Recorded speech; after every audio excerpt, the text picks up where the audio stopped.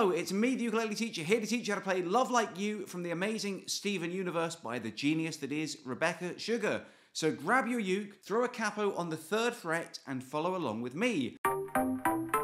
Everything you need for this lesson is going to be right here up on the screen for you to follow along.